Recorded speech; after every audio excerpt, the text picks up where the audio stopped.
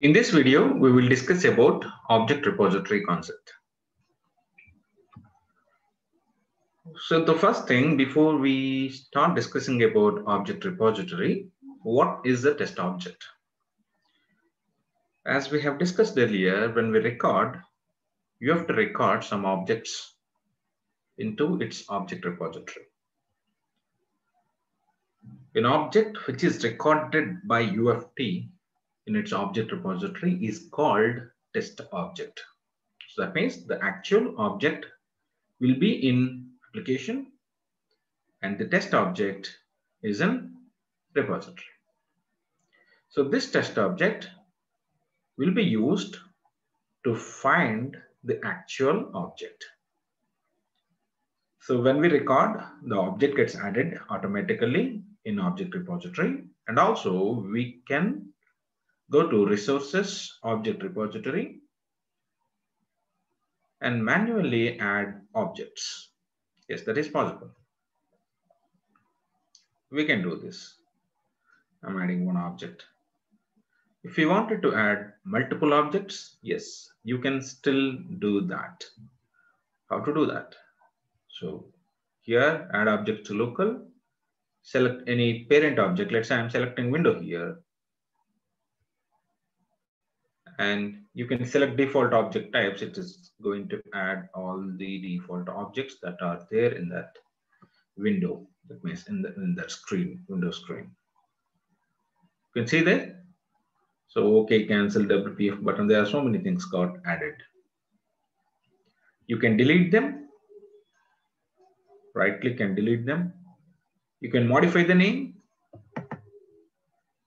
And for every object. That means these are all test objects and these are all actual objects that are in application. In older version of uh, UFT, we even call these objects as runtime objects, something like that. But so these are the actual objects in application and these are test objects that are created for testing purpose. That means we will be testing on these objects with the help of, you know, by, by writing some code, and uh, this code, what we write, when we run it, when we run it, it will check for whether that particular object exists, whether this particular object exists in object repository. If it exists, it will find that object in application and perform the action that we have specified here. Remember, this is the UFT execution process. So it takes the object that we have specified here. It checks for that object in object repository and perform the action that is specified. So this is what it is going to do. And what and all we can do object repository, we can add objects, we can delete objects, we can rename objects, and for every object, it adds some properties. So these are properties that are given by developers and UFT is having something called test object model. And that's a pre-configuration of how to recognize an object. That's a pre-configuration on how to recognize an object. That means when I'm adding a text box to, to object repository, what properties of this text box should get added into repository.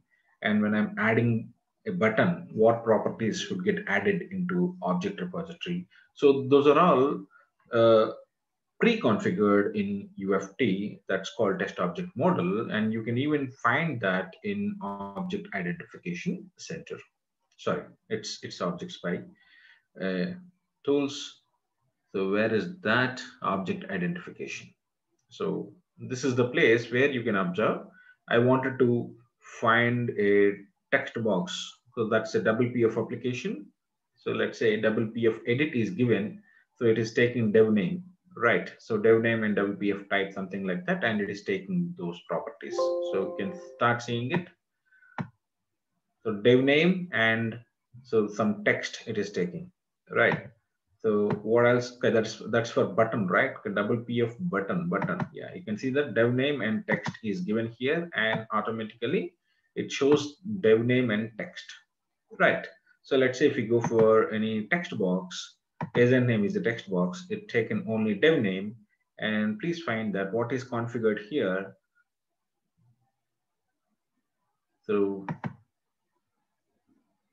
and go here, WPF edit is the text box, and you can see that dev name is configured. So this is a priority based properties. We have mandatory and assistive properties. Okay, this is all uh, a different concept. Uh, we'll discuss later, but what you have to understand here is when you add an object, for that object, properties gets added. With these properties, UFT will find the actual object in application. Right. So you can delete objects, you can add objects, you can delete properties, you can edit properties. But if you modify properties, there is a problem. It will not identify the objects in your application because these are the actual properties. But if you modify names, there is no problem at all. This is okay. I'm changing name uh, from OK to OK2. Yes, it still works. Right. You can see that it is changing OK to OK2. Right. As I told you earlier,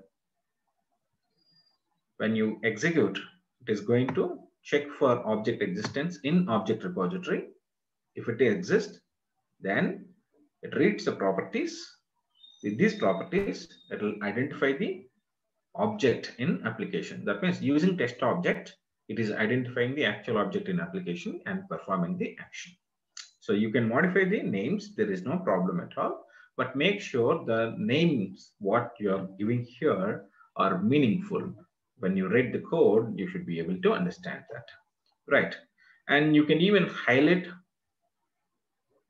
objects in application. You can see that. And also you can locate objects. Everything is possible. Let's say I don't know where my text box is. Okay, locate in repository. So I don't know where my text box is. Let's assume that we have 100 objects, how to find it? Yes. Now you see it is, it is uh, uh, selected.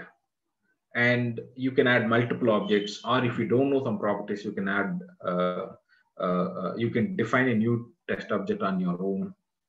Right, you can even add a image of an object. So let's say I wanted to add an image of this object. Yes, you can still do that.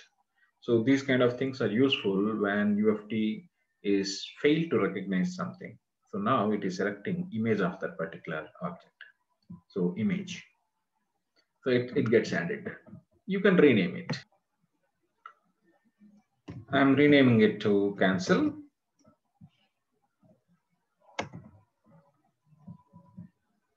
Yes, it works. So you can add objects as a normal object. So normal object will have the properties. And you can add an image object. That means if you are not able to, uh, uh, if UFT is not able to recognize that particular object, you can uh, add an image of that so that you can click on that particular image. So this will be helpful in case of uh, any complex technology where UFT doesn't recognize the objects, then you can use this feature, right? You can enter text on it or you can uh, click on it. You can perform that by using by uh, using uh, image. It can find it, and this is called insight. This is called what? Insight. Insight identification. So that's why it shows that you know add insight object, right? So let's say if we wanted to use these objects in some other test. So these are all stored in your local. And if you wanted to use these objects in other some other test, then we can have, you know, export local objects or export and replace local objects feature. And we have a concept called shared object repositories, local object repositories kind of concept. So there we'll discuss more about it. But for now, just remember this object repository window is giving a feature of adding, deleting, modifying objects and also add properties, delete properties, and also highlight up object in application or uh, locate in repository. And we can export local objects and we can create a separate file of object repository, not as a local one and a shared one. And also we can even use that object repository here. Okay, and many things are possible here. Got it.